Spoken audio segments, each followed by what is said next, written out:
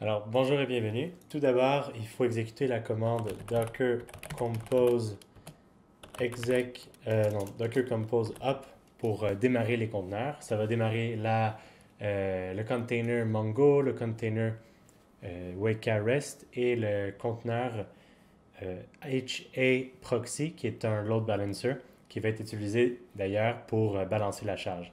Pour l'instant, on va seulement faire un conteneur, donc le scale sera 1. Donc Docker Compose Up par défaut, c'est ce qu'il va faire. Donc on y va.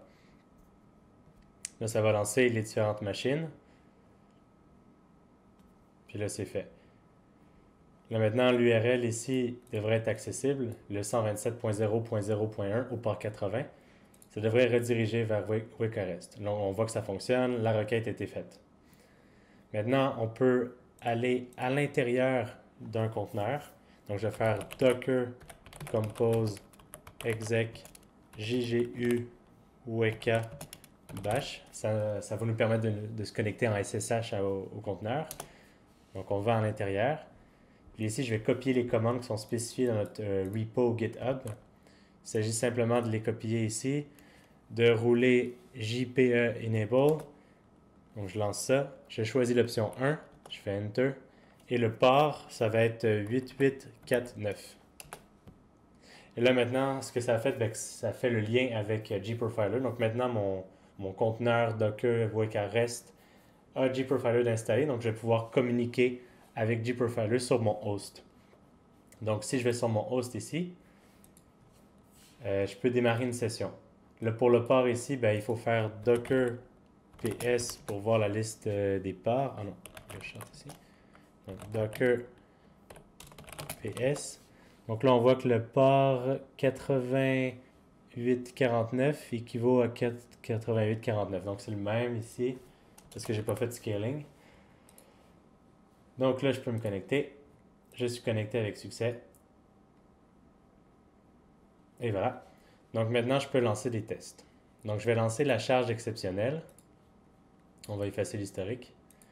Puis là, la charge exceptionnelle ben, devrait créer des problèmes parce qu'on a un seul conteneur, donc le conteneur ne sera pas capable euh, d'accueillir autant de requêtes. Donc là, je lance ça. Puis là, on voit ici que les requêtes passent, ça va bien au départ, il n'y a pas de problème. On voit ici que le CPU load augmente. Le nombre de threads également augmente aussi. Puis là, on est très proche de 100%, donc là, il y a des erreurs potentiellement qui pourraient arriver. Euh, parce qu'il y a beaucoup, beaucoup de requêtes et que le CPU a de la misère à, à, gérer la quantité.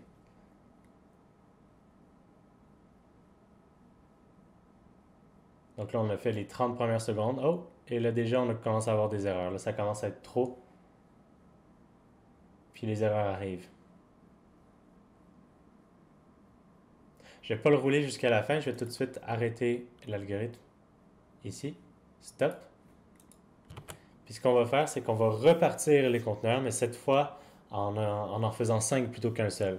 on va observer la différence en consommation de CPU, puis aussi au niveau des erreurs. Donc là, on attend que, tout se termine. Donc c'est fait. Je vais maintenant faire la commande docker compose up-scale ggu wk égale 5. Donc ça, ça va créer 5 conteneurs ggu wk. Donc je lance la commande.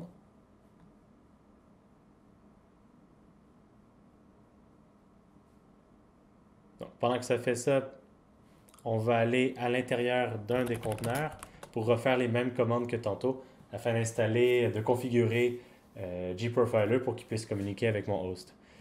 Donc, euh, j'ai fait Docker PS et je vais me connecter, disons, au premier en haut, là, le, troisième conteneur. Son ID, c'est celui-ci. Donc, j'ai seulement à faire docker euh, exec-it, le ID du conteneur, bash. Donc là, je suis à l'intérieur en SSH. Euh, je mets les commandes. Je fais 1 comme tantôt. 8849 pour le port. Et voilà, maintenant tout est configuré. Je peux aller ici. Et là, on remarque que le port 8854, c'est maintenant le port qu'il faut aller chercher. Donc je vais faire ça. 8854. J'entre ça. et je me connecte. Donc là, je suis connecté. Je vais effacer l'historique dans Gmeter euh, et je vais repartir les tests cette fois-ci avec 5 conteneurs. Donc là, on voit ici, quand j'ai fait Docker PS, qu'il y a vraiment bel et bien 5 conteneurs. Docker PS. Il y en a 5 ici. Puis si je vais ici, dans euh, le UI, ça fonctionne encore. Mais si je regarde, là, on voit que ça a appelé la première instance qui est en blanc. Si je fais refresh, là, cette fois-ci, ça a appelé la deuxième instance qui est en rouge. Si je fais refresh, là, ça a appelé celle qui est en bleu, la troisième. Donc là, on voit que l'autre balancer fonctionne bel et bien puis qu'il distribue la charge. Maintenant, ce qu'on va faire, c'est partir les tests. Donc d'emblée, ça va bien, on n'a que du vert. Et tout de suite, on peut remarquer que la charge augmente beaucoup moins haut et reste autour de 20% environ plutôt que 100%.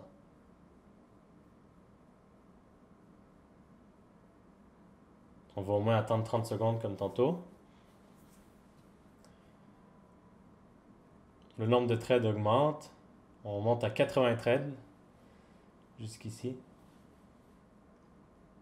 Mais la charge euh, le process load reste toujours très bas, il ne va pas à 100% comme tout à l'heure, donc c'est mieux. Là, on a une petite erreur.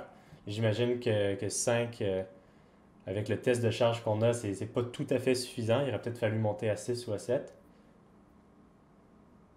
Et voilà, là, ça fait 30 secondes. Donc, euh, je vais arrêter le test. Et c'est ce, qui conclut finalement le vidéo euh, explicatif. Donc, merci beaucoup. Puis, bonne journée.